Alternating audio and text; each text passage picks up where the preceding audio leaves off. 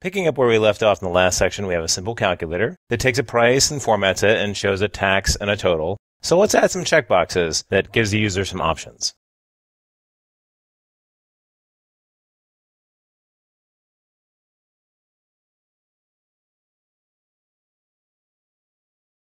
The Add Tax button allows the user to say whether they want to have us add the tax, and the Show Total button allows the user to decide whether they want to see the total or not. Not the best UX design ever, but that's not really the point. The point is to see how we reference a variety of different input mechanisms. So let's refresh the page.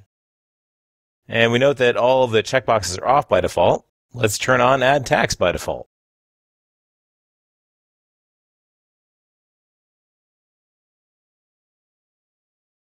refresh the page, and yep, that's on. That's really nice, actually.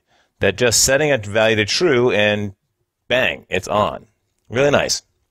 But of course, that doesn't do anything, so let's change that.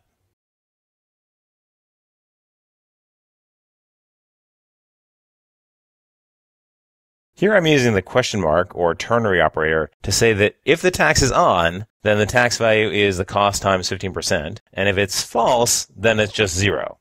You could spell it out with an if and an else conditional, but I think it's the equation's so simple that it really it's just cleaner this way. And uh, we can refresh the page, and we'll see change the tax. It's still not changing. So let's add a change handler.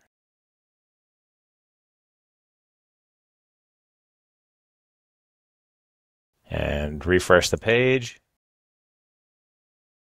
Cool. Now that works very well. Now we could also do this instead and use the expression of the cost plus the tax boolean. But what does that really mean? To find out, we can add this expression to the template and then refresh the browser.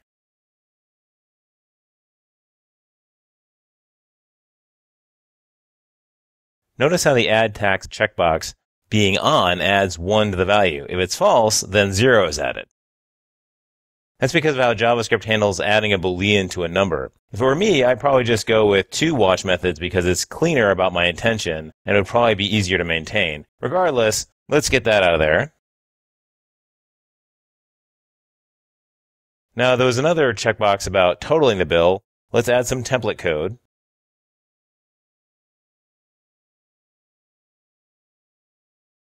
The ng show directive here shows or hides the tag and its contents, depending on the state of the boolean. So if we refresh the page, we can see that by clicking on the checkbox that either shows or hides the total area. But in all honesty, while that works, you're not learning a lot. So let's implement that ourselves so that we can learn a little bit more about the Angular templates. Let's start in the controller.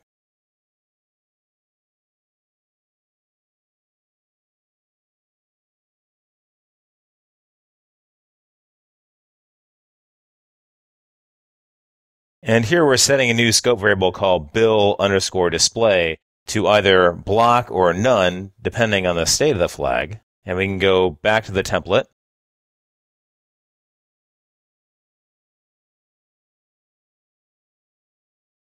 And set the style to that value. This is basically what ng show is doing for you. So let's try that out.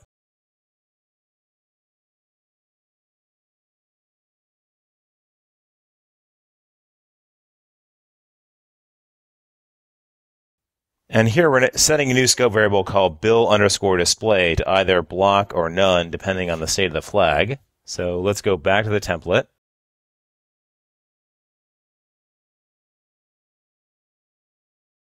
And set the display style to that value.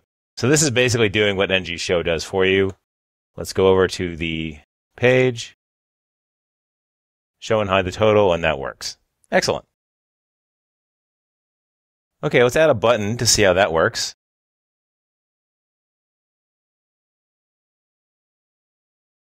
So in this case, what I want to do is keep a running tally of the purchases. So this add button will add the current value to a running total that we'll call the final bill. So let's go back up to the controller.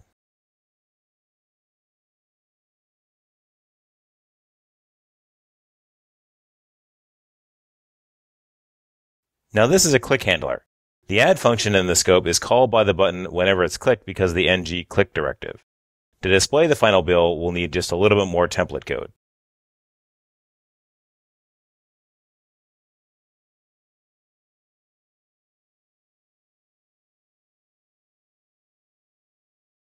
and we can refresh the browser and have a I'll look at all this in action, show the total, and now we'll add it, add a new value, and we'll add that, and we get a high running total and so on, and that's really cool. Okay, so there are two things I want to show, select boxes and radio buttons. So let's add some shipping options to the controller. And as you can see, this is an array of shipping options along with their cost. And the currently selected shipping option, which is called shipping, is set to the first value in the shipping options. So the next thing we need to do is add a select box to the template to show the current shipping option and allow the user to select a new one.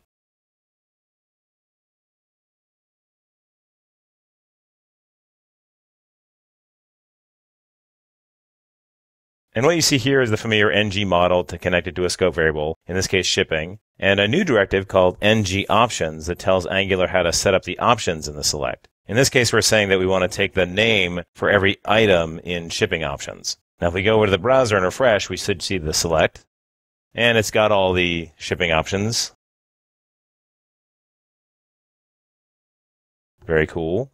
But it doesn't do anything yet. So let's add a small change.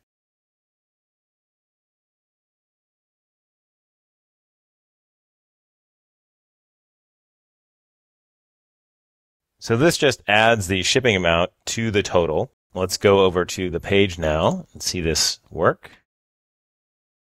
Refresh and show the total. Express. Okay. Nothing's happening. Uh, I think I see what's happening. So we still have to do a watch because that value is changing, but we're not refreshing the update yet. So let's go do that.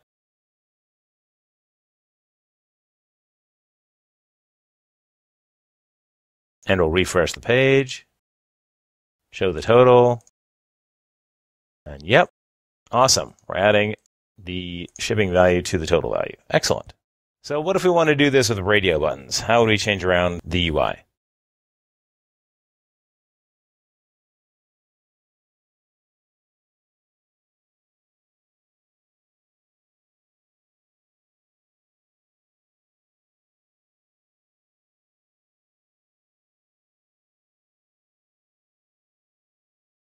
Okay, so I've taken out the select and now I want to go and make a change to the controller. So in this case, it's just going to be a simple value for the total cost because it's going to get the amount from the radio button itself and then just apply that. And it's going to start off at 10. So let's refresh the page and see if this works. Cool, yes. We have a flat rate, express, super express. Let's see that they're added to the total. They are, but they're done in the wrong way. So we need to do the parse float thing that we did before.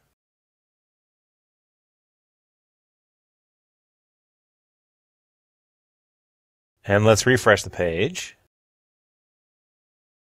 and show the total. That looks right. But I'm not a fan. I really like the select and I like the objects. It was just right. So let's see if we can get there. Let's undo a couple of our changes.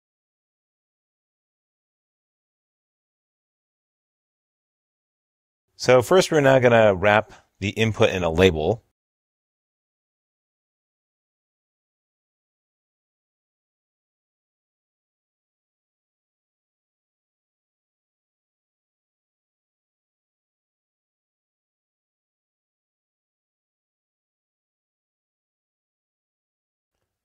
So we wrapped the input in a label, we got rid of two other labels, and we turned the label into its own template and put it in an ng repeat system. So as Angular goes through the shipping options, it's going to set each one uh, to the value of s because of the ng repeat. So s in shipping options is going to iterate through shipping options and set s to each one as it goes through, and then create an input for each type. So let's go over to this, put the br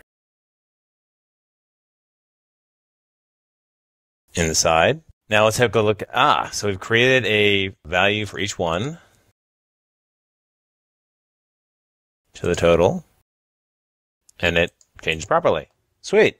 So in this new version of the code, shipping options is an array that's going to drive the creation of each of the inputs. And I think that's a little bit more elegant than having the individual hard coded elements and with the values. So we're still using options as an object, but we're getting the most out of it. Now, it's a little advanced based on where we are so far. In the next couple of sections, we'll go through this ng-repeat and show how that can be used more broadly. So in this segment, we looked at, let's see, four different new types of controls. Checkboxes, buttons, select boxes, and radio buttons. And we've seen how to integrate all those together within an Angular application through the use of the controller. So at this point, you should be pretty excited about just how easy it is to make a reasonably complex application in dynamic HTML using Angular, and to make one that's maintainable and easy to understand for both you and the other members of your team.